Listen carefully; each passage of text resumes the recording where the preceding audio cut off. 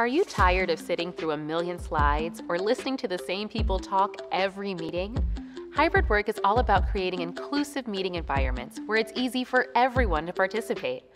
BlueJeans' new polling feature helps spur creativity and engagement by giving everyone a voice.